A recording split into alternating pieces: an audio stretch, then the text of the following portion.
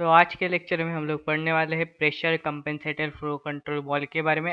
ये जो डायग्राम है और जो हम लोग के टेक्स्ट बुक में जो लिखा होता है इसका वर्किंग वो हमें इतना समझ में नहीं आता जब मैं भी स्टूडेंट था आपके जैसा जब मैं भी पहला कंफ्यूज हुआ था। इसका वर्किंग हम लोग विजुअलाइज नहीं कर सकते तो ये एक इशू था। तो इसलिए आज मैंने हम लोग का ये जो टेक्स्ट बुक का ही डायग्राम है, उसे ही उठा के मैंने एनिमेशन किए और मैं आपको एनिमेशन के माध्यम से आज का वीडियो सिखाने वाला हूँ। तो चलिए सबसे पहले बात करते हैं इसके कंस्ट्रक्शन से। कंस्ट्रक्शन में मैं आपको पहले बता दूँ कि ये जो बाहर की जो कवरिंग होते हैं, ये होती है वेल बॉडी। उसके बाद हमारा ये पॉपेट, ठीक है तो ये होता है हम लोग का ऑयल इन और ऑयल आउट, ठीक है, यहाँ से ऑयल इन होता है और यहाँ से ऑयल बाहर जाता है और ये पॉपेट होता है जो आगे पीछे मूव करता है, जो हम वर्किंग में देखने वाले हैं। इसके बाद ये फिक्स ऑरिफिस होता है। अब ऑरिफिस के बारे में आपको पता होगा, ऑरिफिस एक ऐसा डिवाइस है जो कांस्टेंट फ्लो आगे भेजता है कि इसका प्रेशर कितना भी हो, लेकिन इसमें से जो फ्लो जाएगा वो कांस्टेंट होगा वो एक ऐसा ओवल टाइप एक शेप रहता है जिसमें से ऑयल फ्लो करता है और इसका जो शेप है वो फिक्स रहने की वजह से इसमें से जो फ्लो जाता है वो भी कांस्टेंट जाता है, ठीक है? इसके बाद ये हम लोग की स्प्रिंग जो कंप्रेशन और एक्सपांशन का काम करेगी। अब वर्किंग में हम देख लेते हैं कि ये कैसे काम करता है, ठीक है? अब सबसे पहले क्या होगा? एज यूजल यहाँ से जो ऑयल है वो आगे की तरफ़ आएगा ऑयल अंदर आएगा। मैं आपको पहले इसका वर्किंग समझा दूँगा। इसके बाद मैं आपको समझाऊँगा कि इसका प्रेशर कंपेंसेटेड ऐसा नाम क्यों गिरा है और इसका मतलब क्या होता है। तो सबसे पहले हाई स्पीड में या फिर हाई फ्लो में ये जो ऑयल है, वो अंदर आएगा और अंदर आने के बाद बेशक ये इस पॉपेट को आगे की तरफ़ धक्का देगा। तो ये देखो, ये आप देख सकते हैं। जैसे इसने पॉपेट को आगे की तरफ़ ढकेल दिया, ये जो स्प्रिंग है, वो भी कंप्रेस हो गई और ये जो ऑयल आउट का जो पैसेज था, उसे इसने ब्लॉक कर दिया पॉपेट ने। अब क्या होगा, जैसे ही ये आगे की तरफ़ मूव हो जाएगा वैसे ही इस ओरिफिस से अभी ऑयल अंदर की तरफ़ फ्लो करना चालू कर देगा। ये देखिए, जैसे ही अभी ऑयल भी अंदर आ गया, ठीक है तो अभी ऑयल आगे पास नहीं हो सकता तो अभी क्या होगा? अभी ये जो दोनों साइड है ना, दोनों साइड पे जो ऑयल है, वो भी इक्वल हो गया है। मतलब दोनों साइड का जो प्रेशर है, अंदर का और बाहर का पॉपेट के, वो भी इक्वल हो गया तो अभी क्या होगा? अब ये जो स्प्रिंग थी, जिसे कंप्रेस हुई थी, वो भी एक्सपांड करेगी। और एक्सपांड करने के बाद क्या होगा? कि एक्सपांड करने के बाद ये जो पॉपेट है, वो बैलेंस होगा। बैलेंस मतलब ये दोनों साइड का जो ऑयल प्रेशर है, वो बैलेंस करेगा। ठीक है? मतलब दोनों साइड भी ऑयल प्रेशर सेम हो जाएगा। लेकिन जो आउटपुट में जो ऑयल अभी बाहर निकलेगा ना, वो एक कांस्टेंट पे जाने वाला है। तो चलिए अभी इस कॉन्सेप्ट को देखते हैं। तो ये देखो।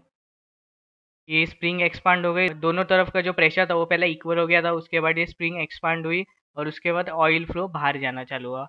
अब इतना तो आपको समझ में आएगा इसके वर्किंग के बारे में। चलिए अभी समझ लेते हैं कि इसे प्रेशर कंपनसेटेड फ्लो कंट्रोल क्यों कहा जाता है राइट तो इसका स्पेशल फीचर ये है कि रिगार्डलेस ऑफ़ प्रेशर यहाँ पे जो ऑयल आउटपुट में हम लोग को जो फ्लो मिलेगा ऑयल का, वो कांस्टेंट रहेगा।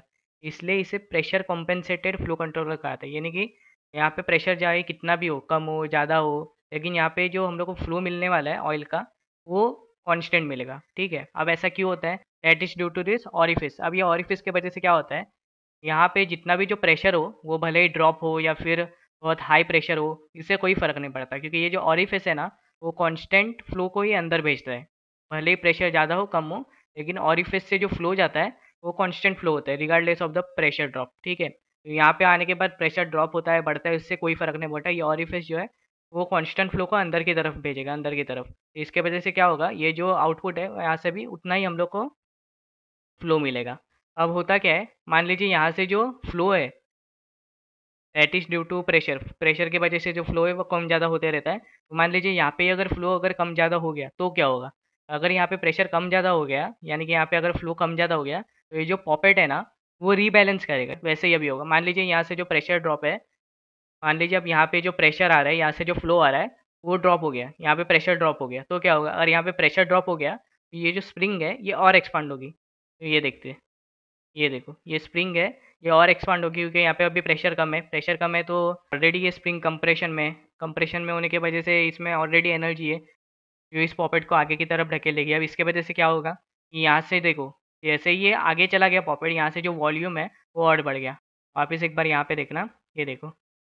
जैसे ही अभी ये प्रेशर ड्रॉप हो जाता है, ये देखो, यहाँ से जो वॉल्यूम है, यहाँ पे वॉल्यूम बढ़ गया।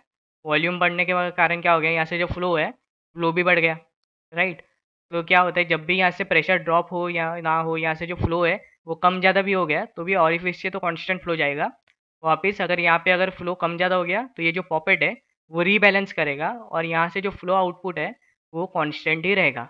भले ही यहाँ से फ्लो कितना भी कम ज़्यादा क्यों ना हो राइट लेकिन एक बात आप समझ के लेना कि ये जो प्रेशर है, वो कम ज़्यादा हो सकता है। मान लीजिए यहाँ पे प्रेशर ड्रॉप दिख सकता है।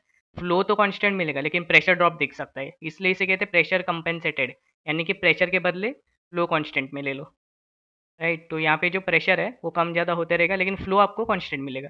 तो कहाँ पे भी फ्लो कांस्टेंट चाहिए, रिगार्डलेस ऑफ़ प्रेशर, वहाँ पे ये वॉल्व इस्तेमाल करते हैं। लाइक हम लोग का जो हैंड ट्रॉली वहाँ पे यूजुअली मटेरियल हैंडलिंग में इस्तेमाल करते हैं इस वॉल्व को। आई होप आपको अभी समझ में आया होगा। अगर समझ में आया तो कमेंट सेक्शन में बता देना और लाइक भी कर देना।